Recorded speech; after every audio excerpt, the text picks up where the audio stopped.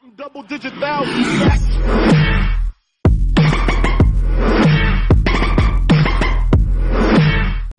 Hello, it's Mr. Ramirez, And I'm Mr. Brewer. and this is the week of February 12th to the 15th. Hey, Mr. Ramirez, I'm so excited. We don't have school on Friday. Yes, it's going to be so much fun. What are you gonna do? Well, I'm probably going to stay home with my wife and daughter and watch Sesame Street. What are you going to do? Well, I don't know about Friday, but I think on Wednesday I'm gonna take my wife on a romantic date. Ooh, would you rather take her to the movie theater or a fancy restaurant? Hmm. I don't know. How about we let these kids decide in this edition of this, This or that? Hi, I'm here with LaMonica. Would you rather get a lot of Valentines from people you don't know very well, or get just one from someone who's special to you? Just one that's special. Would you rather get to write the script for the Valentine's episode of your favorite TV show, or be in the Valentine's episode of your favorite TV show? Be in the Valentine's TV show. Be in the Valentine's TV show. Would you rather get a Valentine's Day kiss from a big slobbery dog, or get a Valentine's Day kiss from a camel? And I have to pick one? Mm-hmm.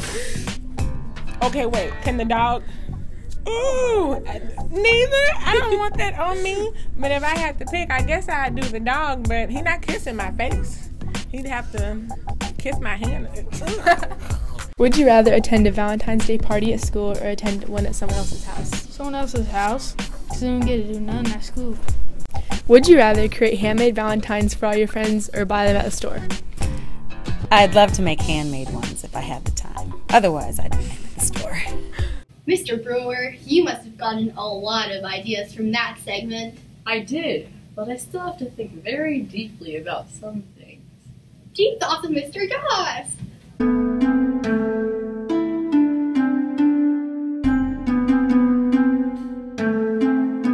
I've always wondered are math teachers secretly pirates? And they're only using you to find the X where the buried treasure is? Very interesting. Dun, dun, dun, dun, dun, dun, dun, dun. Mr. Romeo? Oh, sorry, I've been watching way too much of The Office lately. Had paper on the mind. Well, maybe we can watch these students attempt the paper challenge. Oh, yeah.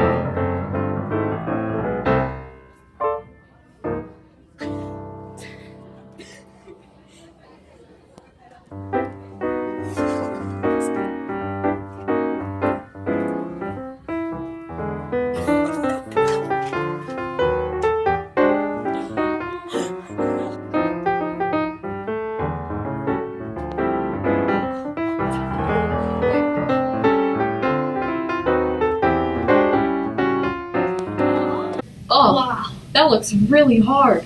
Yeah. You know what else is hard? Sneaking into the teacher lounge. Maybe we can find out what it looks like on this episode of Westlane Cribs. Yes.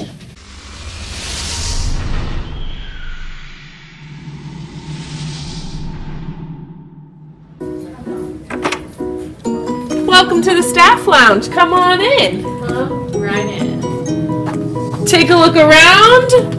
We got this awesome entertainment center. You can play some video games. I hear Mr. Roberts likes to crush some people. Come in, watch a little Office, play some Xbox, watch TV. We've got microwaves. double trash cans for teacher trash only. Vending machines, snacks, soft drinks, whatever you need. They are haunted. Right behind you, we've got a foosball table. Come get a match in with Mr. Rami Noodles. This is the Billy 500. Mr. Pitcock's goal this year is to get to 500 classroom visits. Looks like we got to keep it up, Mr. Pitcock. Over here we've got a lounge area, some nice soft couches. We've got some cool green chairs. A game of darts if you want to challenge someone. Soundproofing because the cafeteria is very loud. We can hear through the wall. Over here, you can play a nice game of chess if you have any extra free time. I'm not very good at this game, but I would play with you anytime. Uh, over here, Mr. Brewer created what's called a Raspberry Pi. You can play all kinds of video games Mario Kart, Sonic the Hedgehog. Alright, getting close here. Take a look at all these games you can play. Mr. Brewer put all those video games on this tiny little device. Over here we've got a little kitchen, some coffee for your midday pickup, a sink. We've got different kitchen utensils where we always wash our dishes when we're done. A fridge with our staff champion. You can zoom in right here. Westlane Wildcat. That's really what the two W's stand for. And then we've got some more counter space with some ads going on. Right behind you, we've got some beautiful long tables where we sit and chat about teaching and life and what we're having for lunch. I think that's it, guys. It's probably about time for lunch. You gotta go. Bye. Bye.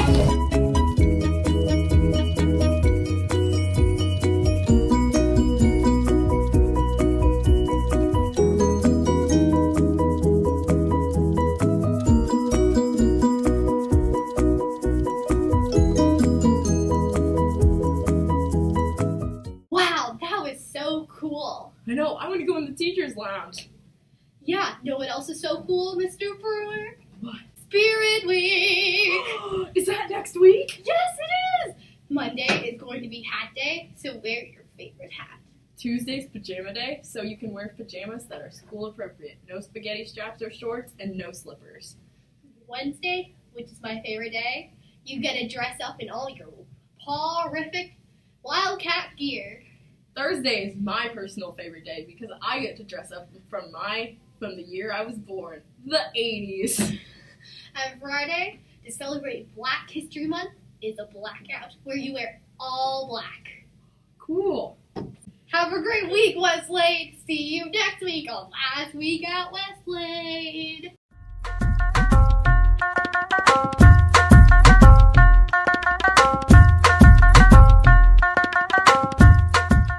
Hey Wildcats, this is Miss Cyber coming at you with a new book recommendation for Get Your Read On. This week, my book is Solo by Kwame Alexander. You may have heard of him because he wrote the very popular book Crossover. In Solo, it's very similar to Crossover because instead of being a normal book, all of the story is written in poetry and lyrics. So don't let the huge page count intimidate you because you can get through it pretty quickly. And Alexander once again creatively writes using lyrics because our main character, Blade, is really into music, just like a lot of you, I'm sure.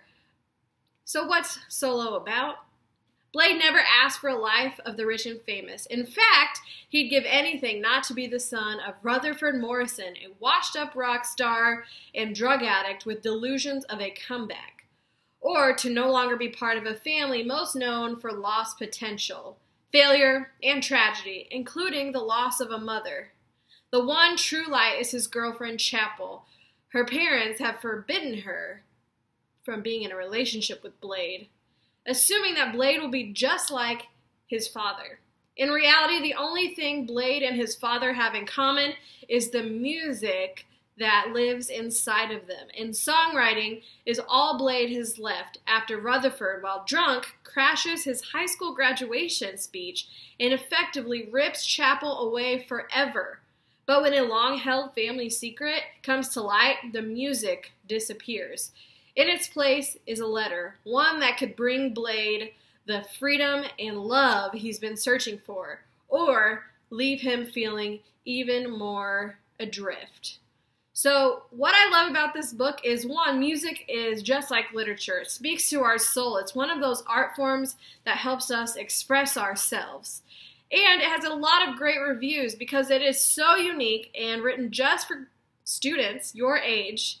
Kwame Alexander is a really creative writer and he uses his talent to tell stories in unique ways. I actually got this book from our Scholastic Book Fair, and I read it all in one day because one, it was a quick read, and two, I loved the story and I wanted to share it with you because I think solo will speak to your heart just like it did mine. And once again, if you would like to read solo, you can check it out at a bookstore like Barnes and Noble or our library. And if you want it all to yourself, you can enter to win it by submitting a filled out Big Ten card. So we would like to reward our readers with even more wonderful books to read. Thank you for watching, and don't forget to get your read on, Westlane. Sitting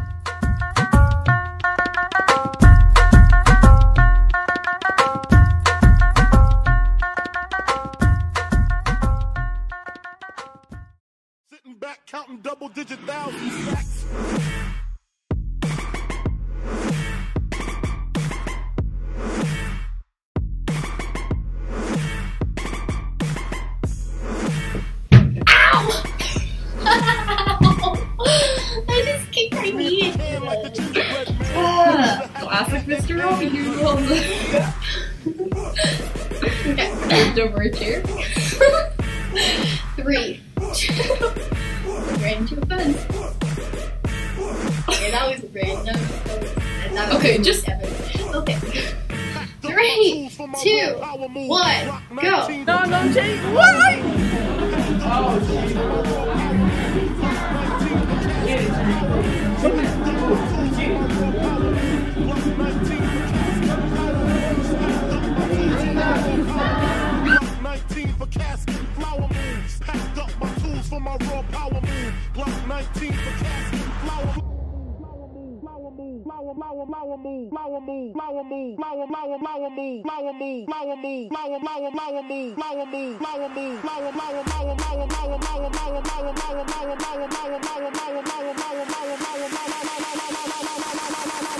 Sitting back, counting double digit thousands.